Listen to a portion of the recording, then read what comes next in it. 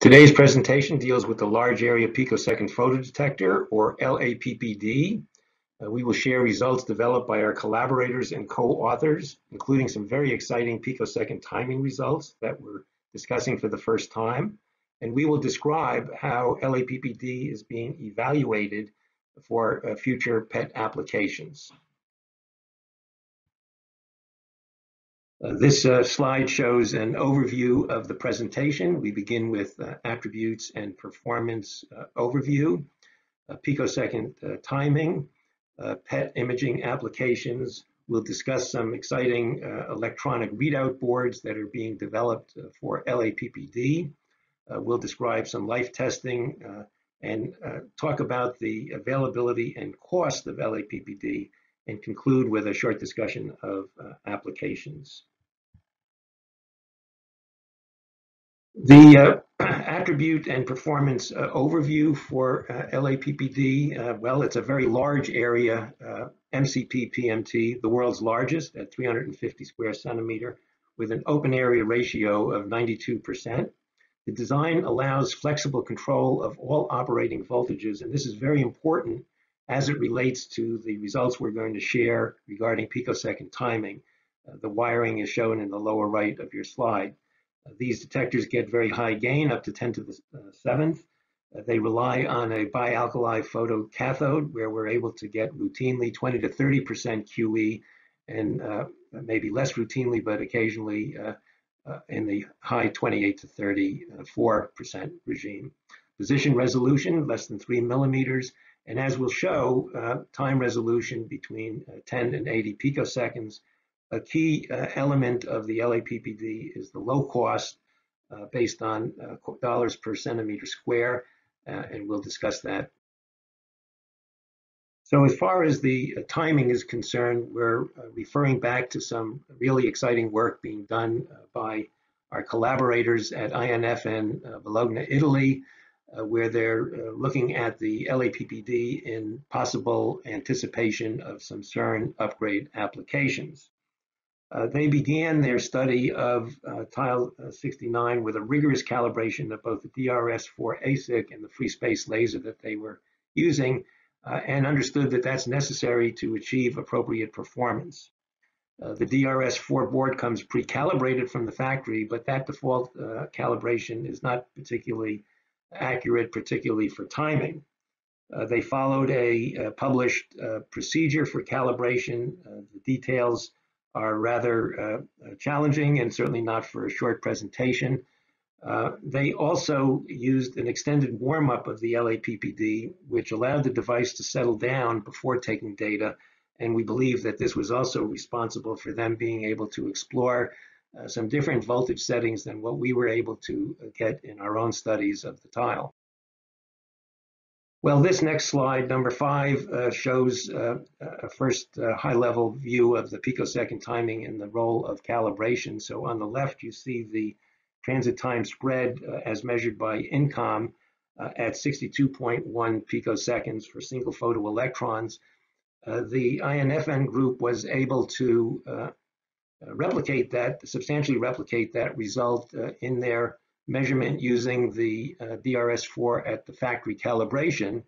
Uh, but when they completed an offline uh, calibration, uh, the uh, transit time spread dropped down to 54 picoseconds, an important, an important reduction in time.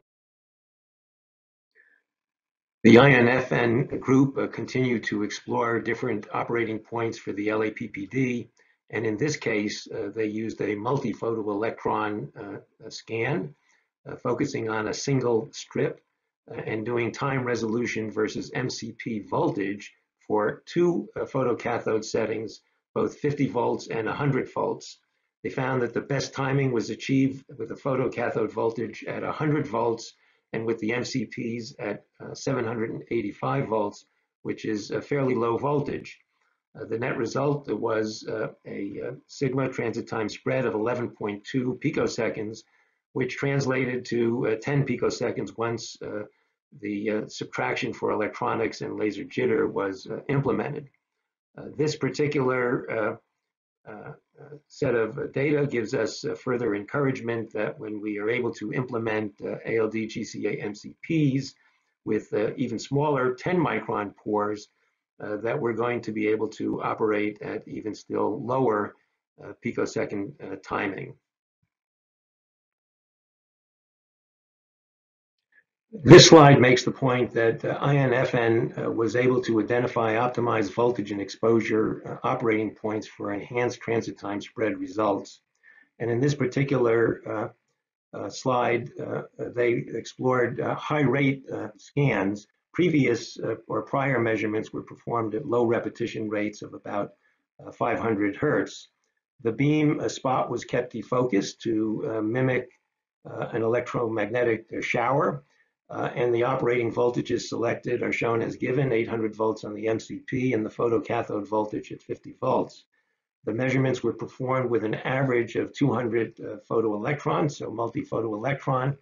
A signal amplitude, which is not shown, decreases with increased rate and is strongly reduced at the highest rate tested, which was 5 megahertz. The plot basically shows that the time resolution remains below 20 picoseconds up to a rate of about 100 kilohertz and then starts to increase, uh, reaching 115 picoseconds at 5 megahertz. Uh, we remain optimistic that uh, when the uh, small pore MCPs uh, are available, that we will be able to get to remain at low transit time spreads at the higher rates. Now, this slide is something of a, summary, and again, the INFN results show that the INCOM reported transit time uh, spread results understate the native performance of LAPPD. Uh, corrective actions are currently underway at, uh, at INCOM, uh, but the key takeaways are depending on your application and the set points that you are able to operate the LAPPD, you might get different uh, timing that range from a single photoelectron 50 picoseconds uh, all the way down to uh, multi-photoelectron 16.3 picoseconds, and under certain uh, low voltage conditions, 10 picoseconds. Well, as you would appreciate, the PET community has shown a great deal of interest in the LAPPD, and this is driven primarily by the picosecond uh, timing aspects uh, of that device, but uh, also by the low cost per centimeter square uh, the planar design and the uh, uh, potential of having onboard electronics. We now have two groups that are showing interest in evaluating the LAPPD. Uh, this slide addresses the work of Bill Worstell from PicoRad Imaging and Hamid Sabet from the Mass General Hospital and the Harvard Medical School. Uh, they have available to them a femtosecond laser uh, and a high-speed oscilloscope, and they split the beam of that laser and allow it to pinge, impinge on the uh, on two of the anode strips that characterize the Gen 1 LAPPD. They use optical filters to attenuate the laser pulse intensity to achieve single photon uh, emission. And they're also evaluating uh, the waveform timing using three algorithms. Uh, and uh, I'm pleased to say that uh, they've been able to substantially replicate the timing that we measured for LAPPD uh, 41.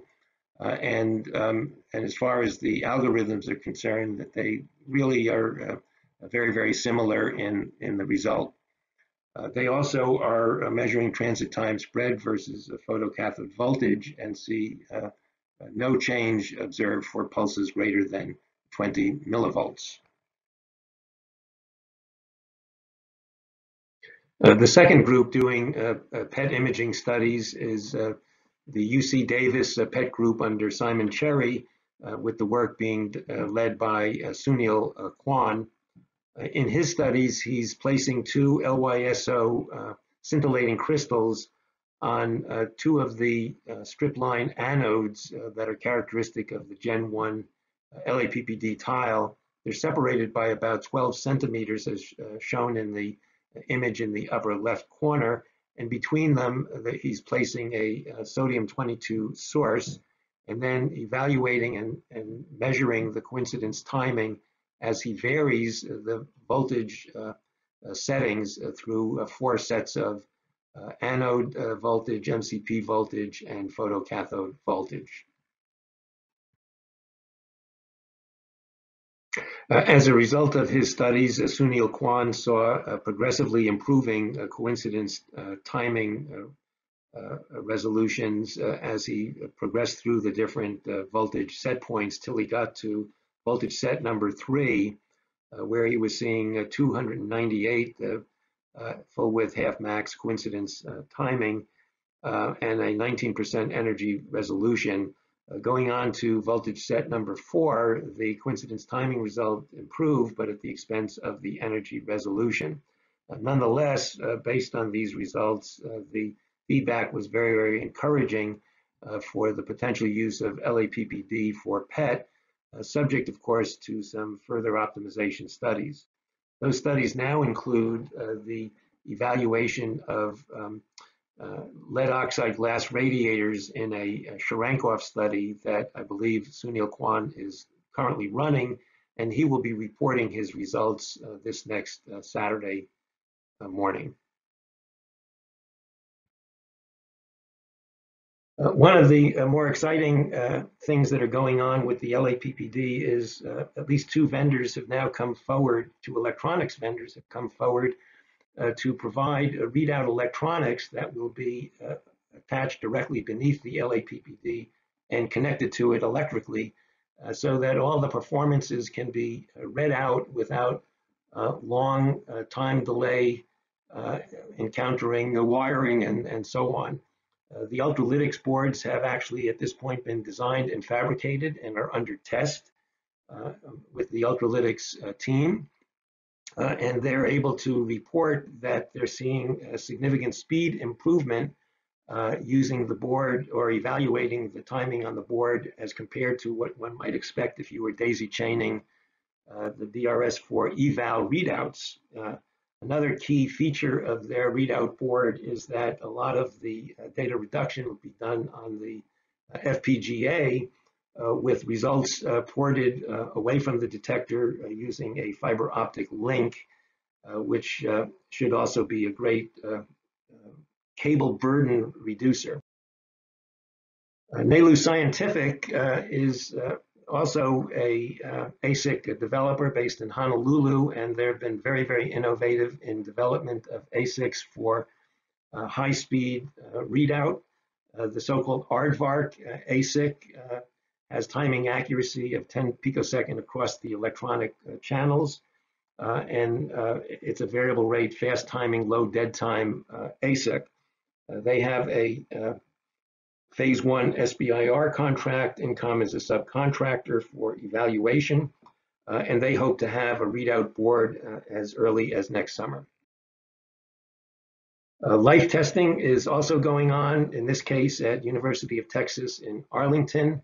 It's an innovative, non-destructive approach that looks at after pulses. They've done calculations now that uh, show that uh, in 80 days of full saturation uh, irradiation and operation, they can expose uh, a, a, small area to 10 coulombs per centimeter square. That'll damage that one spot, but presumably leave the rest of the tile um, fully functional. At least that's what they promised us uh, when we gave them this tile to test. Um, the cost drivers uh, for LAPPD are uh, really the design attributes of the detector itself. Uh, and um, we expect that when uh, production pricing is in play, uh, that we're going to be down in the uh, 58 to 79 dollars per centimeter square regime, which competes very, very favorably with other commercial MCP, PMTs, and even SiPM. So as far as application is concerned, uh, the real point here is that we've got uh, LAPPD, uh, 20 of them at different uh, early adopter sites in various stages of evaluation. Uh, let me conclude uh, by saying that the takeaway messages are summarized here.